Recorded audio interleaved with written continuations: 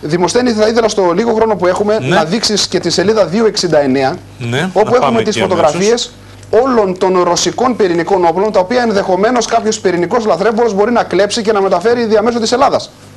Μάλιστα. Από το πρώτο που έχουν δοκιμάσει Ναι, στο στην αρχή Σέμι βέβαια ο- στο Σεμιπαλατίνσκ. ε. Το πρώτο, Έτσι. μέχρι- Το Σεμιπαλατίνσκ θα πούμε αγαπητοί φίλοι ότι είναι μεγάλο κέντρο της, του ρωσικού στρατού. Στο Σεμιπαλατίνσκ επίσης έχουν μεγάλο κέντρο ελέγχου επανεισόδου διαστημικών οχημάτων και ελέγχου δορυφορικών τροχιών οι Σοβιετικοί, οι πρώην Σοβιετικοί, οι Ρώσοι τώρα κτλ.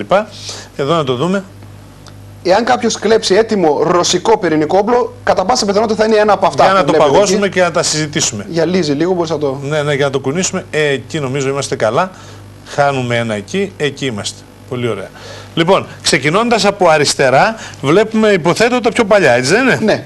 Ήταν Πολύ η ωραία. πρώτη που δοκιμάστηκε το 1951, 24 Σεπτεμβρίου στο Σεμιπαλατίνσκ, αυτή που βλέπουμε. Η δεύτερη από αριστερά αποτελεί την πρώτη θερμοπυρηνική βόμβα υδρογόνου των Σοβιετικών. Δοκιμή 12 Αυγούστου του 1953. Ε, βέβαια είχε μια, απόδοση, μια απόδοση 400 κιλοτόνων, 40 φορές μεγαλύτερη από την βόμβα της Χειροσύμα. Μάλιστα. Παραδίπλα βρε- αρχίζουμε και πάμε στα κονικά σχήματα. Ναι. Ένα είναι πάνω σε ένα τρέιλερ με ροδάκια. Εκείνο. Ναι. τι Αυτό που βλέπεις είναι ο κόνος, η κεφαλή Ναι. ενός διπυρωτικού πυράβλου, ενός μύρβ. Μάλιστα. Έτσι όπως μπορεί να το κλέψει κανείς. Ναι. Αξίζει να αναφέρουμε ότι αυτή που βλέπετε δεξιά Ναι. είναι η, Τέρμα δεξιά. τέρμα δεξιά, Ναι. είναι η μεγαλύτερη πυρηνική βόμβα που έχει εκραγεί ποτέ στον πλανήτη. Είναι Δηλαδή- θερμοπυρηνική. Ναι. Έτσι είχε μία απόδοση 50 μεγατόνων, δηλαδή 50 μεγατόνων. 3.300 φορές μεγαλύτερη από τη βόμβα της Χειροσύμα. Μάλιστα. Α- αυτό το 3.000 αντικείμενο- 3.000 φορές. 300. 3.300 φορές. Μεγαλύτερη από τη βόμβα της Χειροσύμα. Και βλέπετε το Αυτή μέγεθός που της εκεί. εξεράγει.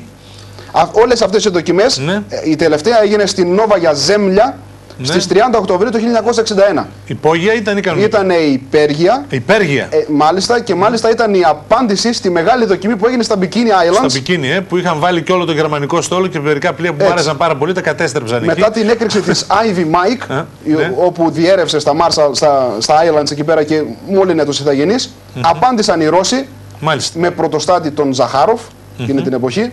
Ο Ζαχάροφ μπορούμε να το δούμε στην αμέσως επόμενη σελίδα. Να πούμε στον κόσμο τι διαφορά έχει η πυρηνική από τη θερμοπυρηνική. Η διαφορά τους είναι ότι μια πυρηνική βόμβα Ναι. χρησιμοποιεί την σχάση του ουρανίου ή του πλουτονίου, ενώ η θερμοπυρηνική είναι ένας μικρός ήλιος.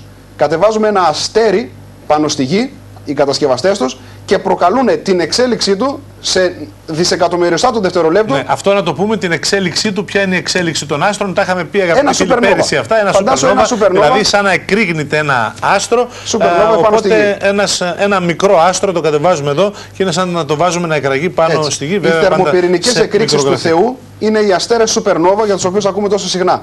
Αυτές σε μικρογραφία έφερε εδώ ο άνθρωπος για να καταστρέψει τον πλανήτη δυστυχώς.